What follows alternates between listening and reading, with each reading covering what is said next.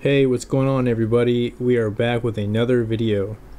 This tank right here is the 5 gallon Fluval and it's an all-in-one as well. You can see that there's two chromis in there and those are the ones that I moved from the 25 gallon tank. These fish aren't going to stay in here but I did need a spot to put them so they'll be in here for a little bit longer, maybe a few weeks or you know, just enough time until I can make it to the LFS and bring them back.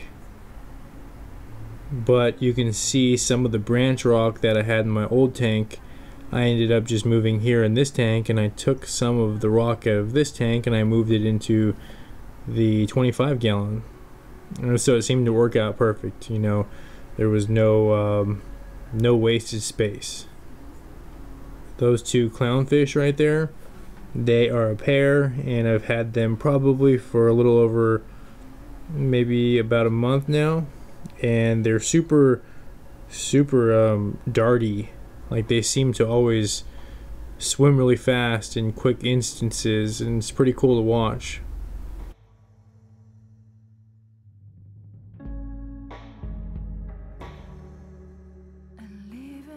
Yeah, those fish are pretty cool. I've always liked clownfish um, something about them, uh, like the way they kind of wiggle around and their facial expressions, they kind of put off like a um, kind of like like they're semi grumpy, but then also you can tell sometimes that they they seem to be in really good moods, and it seems to be really relaxing just to just to see these fish. I mean, they're they're super super cool fish. So if you've ever had um, clownfish, then you know exactly what I'm talking about.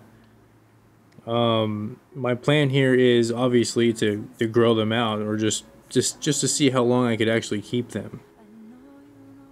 This tank's pretty cool. It has the whites and the blues. Um, I ramp it up for like 30 minutes in the morning with the blues and then I bring it to the whites. Um, then I'll ramp it down about another hour uh, right before their bedtime but I don't really have too much coral in here. I don't really think I'm going to be putting a whole bunch of coral in here anyways. I think I have one small frag of uh, green star polyps um, in the back part area. This tank's pretty neat. The the glass on it's it's pretty clear actually, and I like that a lot about it.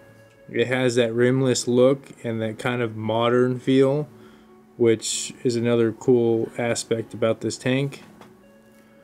One thing that is a little, uh, it's a little weird is that the glass panels are super thin. So like when I'm wiping it down, I'm just really careful because um, I don't want to put too much pressure and uh, have the tank just lose its grip with the silicone and just, you know, fall apart. But for the most part, everything is going great with this tank. Um, I really can't complain. I like this tank a lot, and um, it's a, it's a pretty cool nano tank. Alright guys, that's going to do it for this video. I really appreciate you guys watching, and I hope you guys have a great day.